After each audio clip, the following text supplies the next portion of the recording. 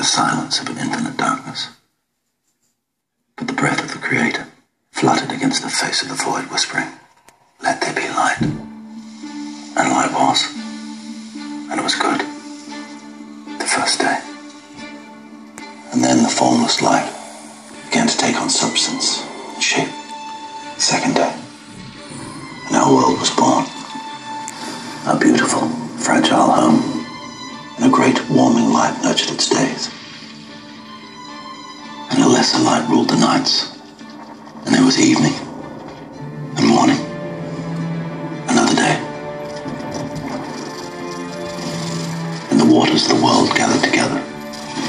And in their midst emerged dry land. Another day passed. And the ground put forth the growing things, a thick blanket of green stretching across all creation. Waters, too, teemed with life. Great creatures of the deep that are no more. Vast multitudes of fish, some of which may still swim beneath these seas. And soon, the sky was streaming with birds. And there was evening, and there was morning, a fifth day. Now the whole world was full of living beings, everything that creeps, everything that crawls, and every beast that walks upon the ground.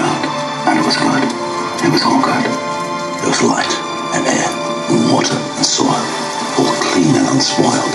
Were plants and fish and fowl and beast, each after their own kind, all part of the greater whole, all in their place, and all was in balance. It was paradise, the jewel in the Creator's palm. And the Creator made man, by his side woman, father and mother of us all. He gave them a choice. Follow the temptation of darkness, or hold on to the blessing of light.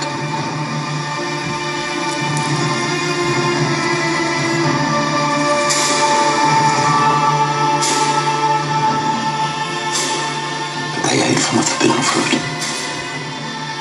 Their innocence was extinguished. And so for the ten generations since Adam's sin has walked within us.